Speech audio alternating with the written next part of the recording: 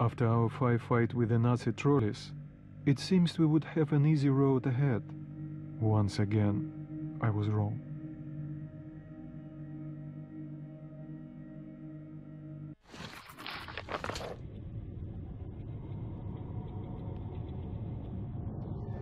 Ulman should be waiting at the Black Station.